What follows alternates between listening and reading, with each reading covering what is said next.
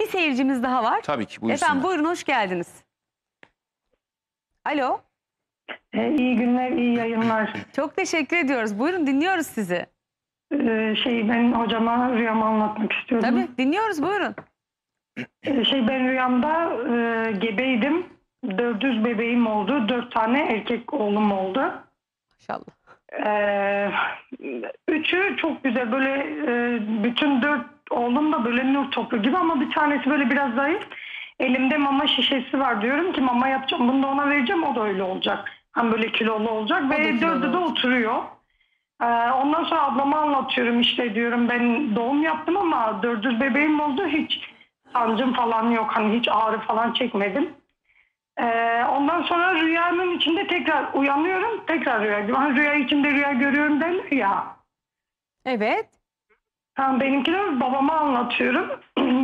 Rüyamda uyanmış babama anlatıyorum. Diyorum ki baba ben dört deste para gördüm. Hani böyle dört deste para. Babam da hayırdır inşallah kızım da gülüyor böyle inşallah inşallah diyor. Yani Öyle rüyanızın oldu. içinde rüyalar görüyorsunuz. Evet rüya içinde rüya gördüm. Hani o dördüz bebeği gördüm. Sonra uyanıp babama anlatıyorum. Ama dört deste para diye anlatıyorum babama. Peki. Ne diyorsunuz hocam? Sorunuz var mı? Yok.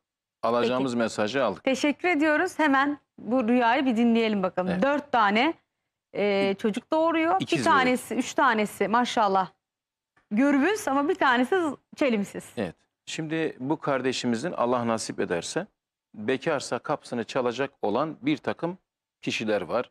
Kısmetli kişiler var. Babasının olması netice itibariyle maddi sıkıntıyı şu anda yaşıyorsa evlendiğinde maddi sıkıntıyı yaşamayacak. Diğer yandan parantez açıyorum. Eğer kişi evliyse şu anda bu kardeşimizin dört tane sıkıntısı kalkacak. Peki ne zaman kalkacak? Biz biliriz ki hani bir işi yapıyorsak doğru mu? Bir olaya hakim olmamız lazım. Eğer rüya yorumu yapıyorsak bu olaya vakıf olmak lazım bu konuya.